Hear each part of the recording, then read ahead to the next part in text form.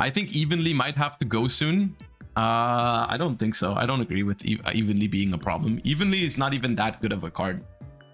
It's fine. I think cards cards that could potentially be a problem. Let's think of it in another way.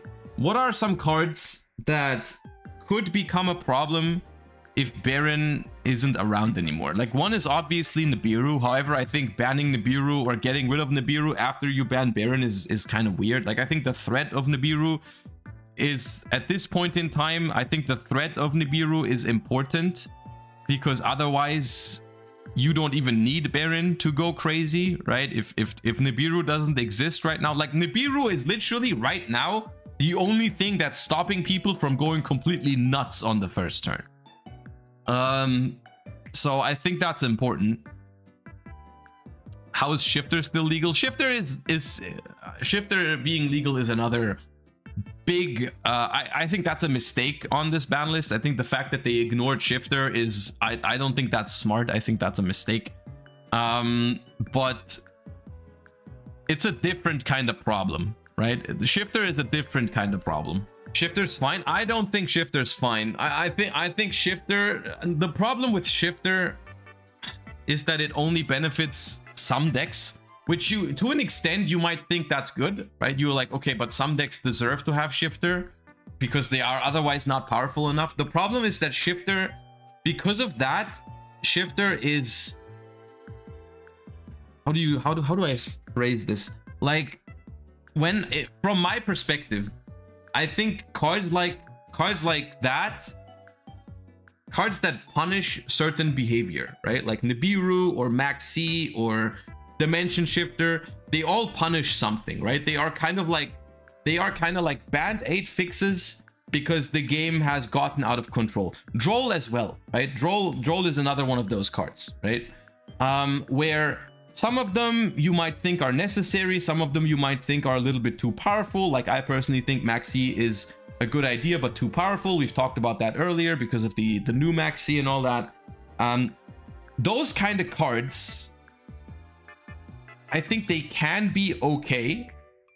But the problem with Shifter specifically is that it doesn't have the desired impact. Because the desired impact of those kind of cards is that the threat of these cards forces people to adjust their game plan, right? Like how Nibiru existing forces you to play a deck that doesn't overextend as much if you don't have Baron, obviously. That's something that, that's another problem is that they keep creating answers to these cards so that people don't have to respect them, right? Like it's the same with Maxi. Like Maxi, in theory, would make people play slower decks but the fact that you have three Ash, Called By, and cross out just makes it so you can ignore it, right? That's another problem. Um, because you don't actually get punished for playing a combo deck most of the time because chances are your opponent either doesn't have Maxi or you have a way to negate it, right? And that ends up being so like I can play my combo deck anyways. Um, but with Shifter, the problem is the same thing. People aren't forced to, to respect Shifter because Shifter is just not that popular because not every deck can play it. There's only like a few decks that can play it, therefore you only see Shifter. If you go to like a, I don't know, let's say you go to a 12 round YCS, which is like 6 rounds of top cut, so that's a maximum of 18 rounds. Realistically, from my recent YCS experiences, you see Shifter decks maybe like three times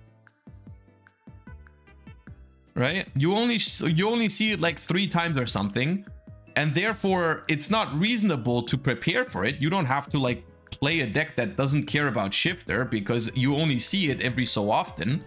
And so, uh, but then that what that what that makes it is it makes it really really um, frustrating when it does happen. Right? It makes it all the more frustrating because then you sit there and you're like, should I have prepared for shifter? Should I have uh, should I have uh, should I have prepared for shifter? And you're like, when you think about it in a reasonable fashion, you're like, no, I shouldn't have. It's not that popular.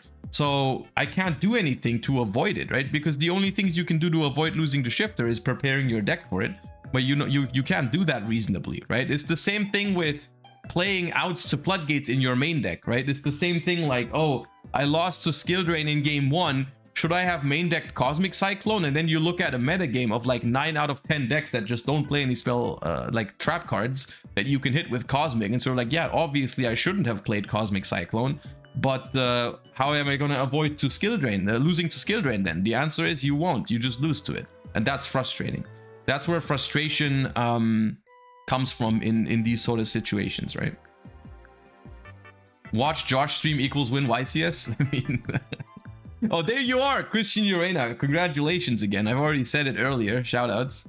Yeah, I, I think um, I think both arguments. I think, and I think that's the problem. I think both arguments have some ground to it. Like, I think it is fair to say that certain decks just are worse because they don't use the graveyard at all, and so therefore they deserved a little bit of a boost in by getting to use a card like Shifter, right?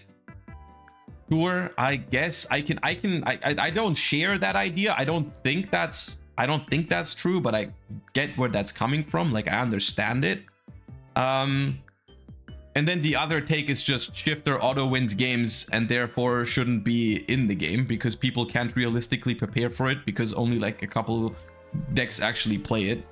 Um that's that's where I that's the that, that's the camp I'm in. But I think both have some merit. Same as Maxi, the idea is fine, but it's too good. Uh, I think Maxi has a different problem, but something like that. The idea behind Shifter I can understand, but I, yeah, I don't think the execution is perfect. Like I think, uh, I think when they made that, we've talked about this in the past, but sh all, Shifter, Nibiru, and Dark Ruler all came out at the same time. And I think it was pretty clearly meant to be a, a, a way to slow down the game by the TCG designers, right? Like they made Shifter, Nibiru, and Dark Ruler in the same Megaton to uh, to to help us deal with the combo stuff. And uh, I think Nibiru has turned out pretty well. I think Dark Ruler has turned out pretty well.